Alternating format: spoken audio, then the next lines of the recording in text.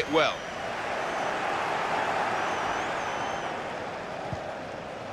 Casemiro. Modric. Take it. real chance to go in front. They scored, and they've gone into the lead, and undoubtedly deserved. They have been by far the superior side, and they really imposed their will on the opposition. Too good, really.